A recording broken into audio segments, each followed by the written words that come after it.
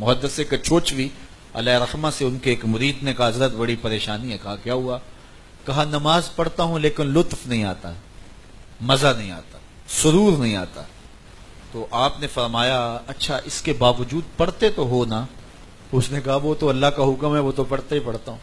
تو یہ بات سننے کی دیر تھی، حضرت محدث کو چوچوی جھومنے لگے۔ فرمایا، واہ واہ، تم لطف کے بندے نہیں ہو، اللہ کے بندے ہو۔ کہ لطف نہیں بھی آتا پھر بھی پڑھتے ہو۔ اس کا مطلب یہ ہوا کہ تم لطف کے لیے نہیں پڑھتے، تم رب کے لیے پڑھتے ہو۔ تمہیں لطف آتا ہے یا نہیں آتے، آتا، مجھے تو تیری بات سے لطف آ گیا کہ تم رب کے لیے پڑھ رہے ہو۔ تو کہا، حضرت واقع میں نماز نہیں چھوڑتا، بالکل نہیں چھوڑوں گا، جس طرح بھی ٹوٹی پھوٹی نماز اب اس میں مجھے سرور آنے لگ جائے گا کہ میں رب کے لیے تو پڑھ رہا ہوں نا۔ تو یہ اللہ کا شکر ہے۔ میں کہا کرتا ہوں کہ بعض کا ہم کہتے ہیں یار پتہ نہیں ہم کس طرح کے ہیں۔ لیکن ماہ سیام میں جب کڑکتی دھوپ میں زبان کانٹا ہے حلق خشک ہے۔ اور ٹھنڈا پانی دستیاب ہے، دروازہ بھی مکفل ہے، کوئی دیکھ بھی نہیں رہا۔ ہم وضو کرتے بھی احتیاط کرتے ہیں۔ تو میرا دل باغ باغ ہو جاتا ہے کہ کوئی ذات ہے نا جس سے میں بھی ڈر رہا ہوں تنہائی میں۔ تو پھر یقین ہوتا ہے جو کچھ بھی ہیں، جس طرح بھی ہیں، ہم ہیں تو حضور کے غلام ہیں، تو رب کے بندے۔ تو پھر شکر پیدا ہوتا ہے کہ مالک شکر ہے، ہم ایماندار ہیں۔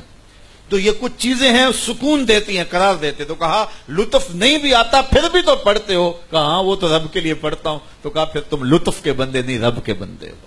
تو سرور آئے یا نہ آئے، تو پھر بھی تم جو ہے وہ نماز کو جاری رکھو۔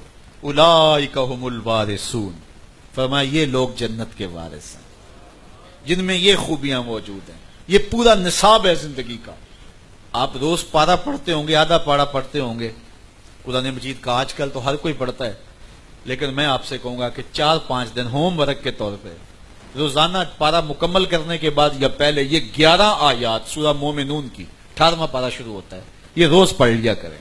ان گیارہ آیتوں سے آپ کو بڑا نور ملے گا۔ درس اس کا آپ نے سن لیا اور اس میں اور بہت کچھ ہے، لیکن اس کو پڑھیں، یہ پورا نصاب ہے زندگی کا۔ اس کو اگر اتار لیں اپنے اندر، تو ایک اچھی زندگی کا تصور ابھرتا ہے۔ فرمایا یہ لوگ جنت کے وارث ہیں۔ الزین یار سون الفردوس۔ اب جنتیں بھی تو کئی ہیں نا۔ کس جنت کے وارث سے کہا، جنت الفردوس کے وارث ہے۔ یہ سب سے اعلیٰ جنت ہے۔ اور میرے حضور نے فرمایا، جب اللہ سے مانگو تو جنت الفردوس مانگو۔ اللہ اکبر۔ ہم فیہا خالدون۔ اور اس کے اندر رہیں گے بھی ہمیشہ۔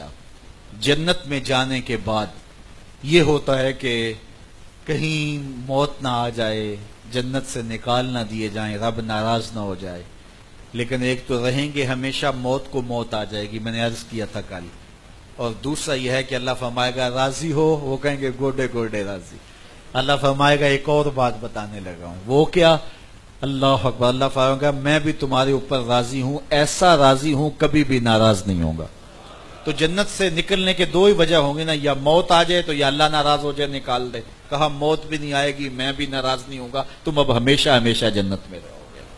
تو یہ ان خوش نصیب لوگوں کا مقصوم ہے، یہ نصاب زندگی ہے۔ آؤ اس کو اپنی روحوں میں، اپنے قلوب میں اتار لیں۔